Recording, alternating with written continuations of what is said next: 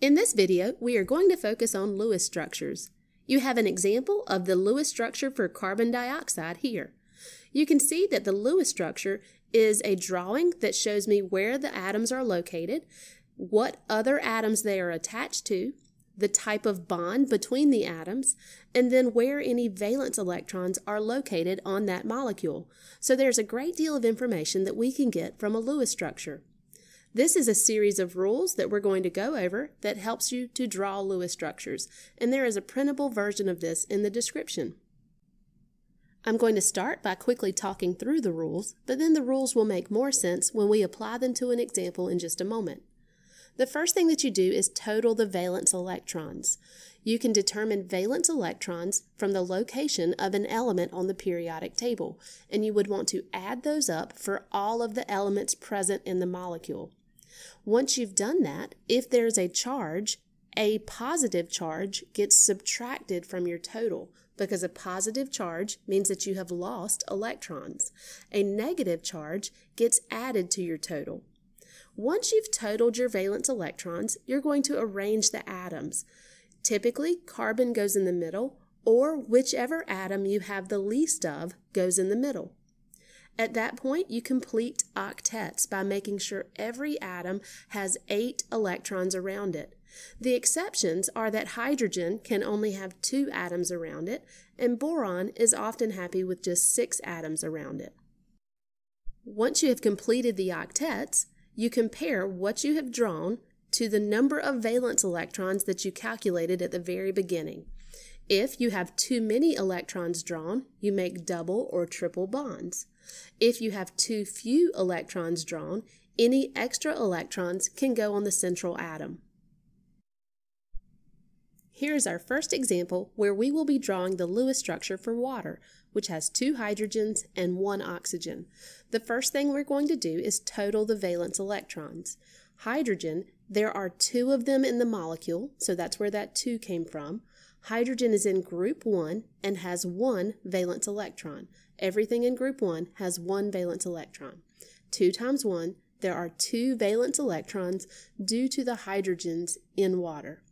For oxygen, there's one oxygen within the molecule. To get the valence electrons, count over skipping the transition metals. So 1, 2, 3, 4, 5, 6. Oxygen's in the sixth group over and has six valence electrons. 1 times 6 gives me 6. My total valence electrons is 8. There's not a charge for this molecule, so that's it for my total valence electrons. You do not need to add or subtract anything from that total. The next step is to arrange the atoms, and if you'll remember from the rules, you want to put the least prevalent atom in the middle.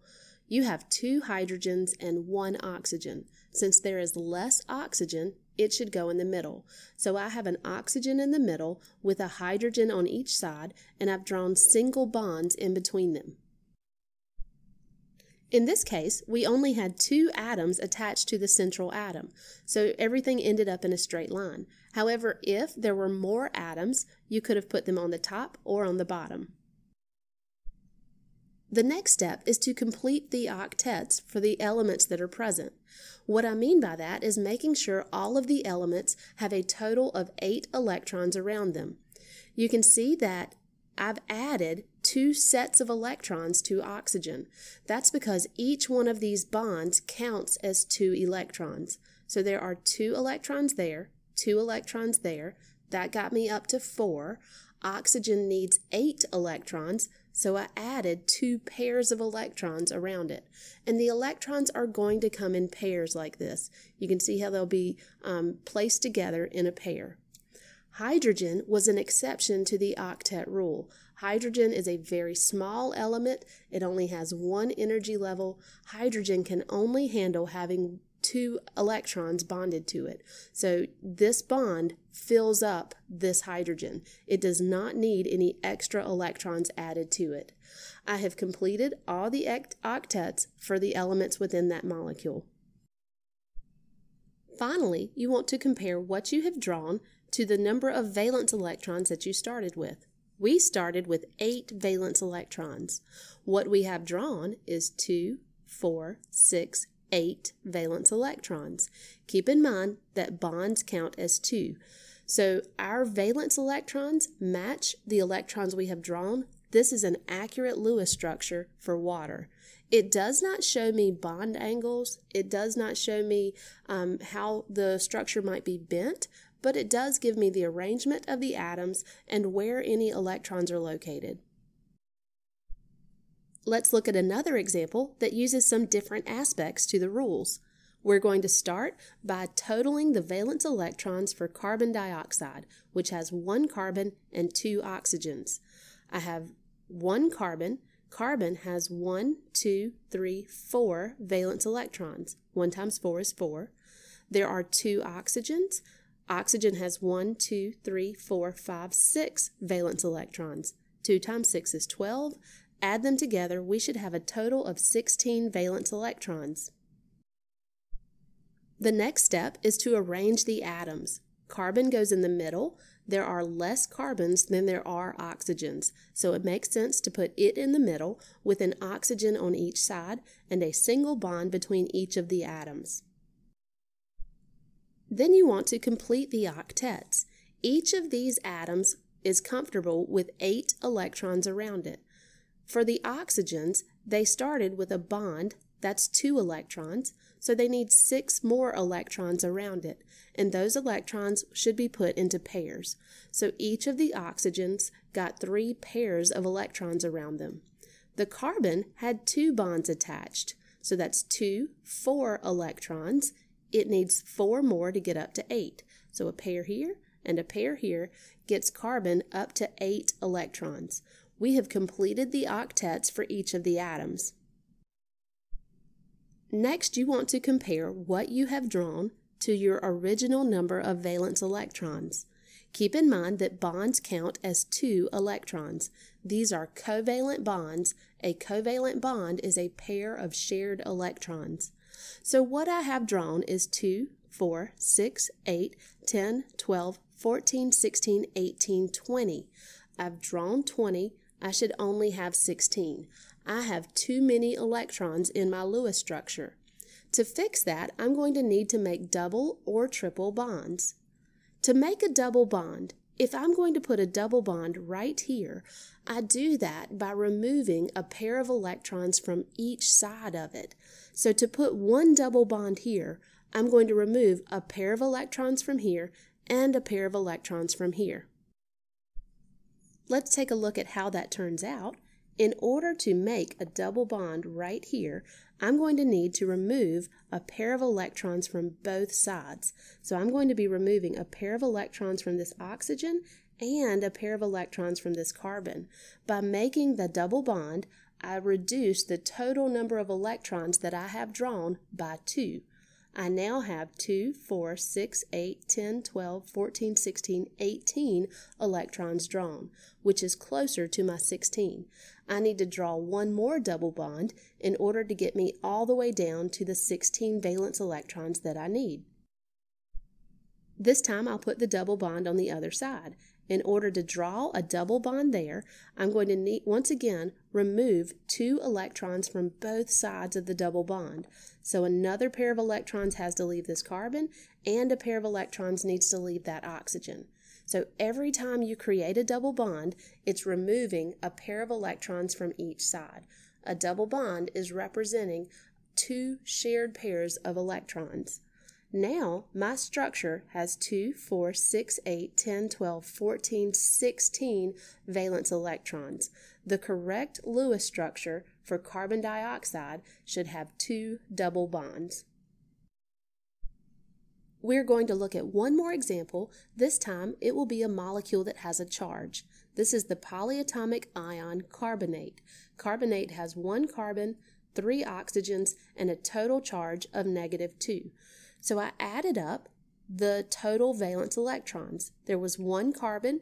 Each carbon has four valence electrons. Three oxygens, each with six valence electrons. That gave me a total of 22 valence electrons. Then the carbonate ion has a negative 2 charge, so it has gained 2 electrons. that means two electrons needed to be added to my total. So 22 came from adding up carbon and oxygen plus 2 because of the negative 2 charge, giving me a total of 24 valence electrons. Next, you want to arrange the atoms with carbon in the middle, three oxygens around it, and a single bond between each one. It is also common to put ions in brackets and put the charge on the outside. Then it's time to complete the octets. Each of these atoms should have eight electrons around it. The carbon initially had two, four, six from the bonds, so it needs one more pair of electrons to get it up to eight. Each of the oxygens had one bond, giving it two electrons. It needs two, four, six, three more pairs of electrons around it. The next step is to compare what you have drawn to your original number of valence electrons. Bonds count as 2, so this structure has 2, 4, 6, 8, 10, 12, 14, 16, 18, 20, 22, 24, 26, and there should only be 24. So we need to make a double bond. The double bond could go in any of the three locations. I'm going to put mine over on the left-hand side. And in order to make my double bond, I need to remove two electrons from each side of it. So I've removed a pair of electrons from the carbon and a pair from the oxygen. My structure now has 2, 4, 6, 8, 10, 12, 14, 16, 18, 20, 22, 24 electrons, which matches the 24 valence electrons that we started with. The correct structure for the carbonate ion will have a double bond. In this video, we have seen single bonds and double bonds. There are also triple bonds. A single bond is a pair of shared electrons, so a single bond is made up of two shared electrons. Double bonds are four shared electrons, and triple bonds are six shared electrons.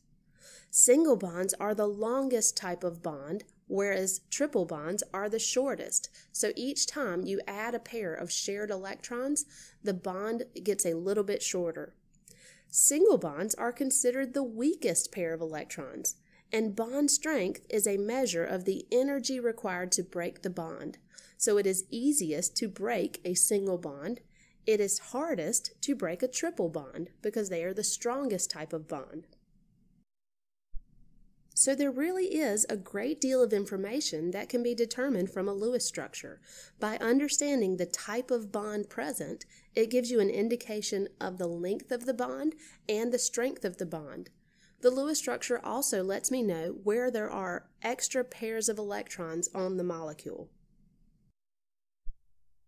That concludes our introduction to Lewis structures. In the next video, we will look at some more structures that do not follow the octet rule.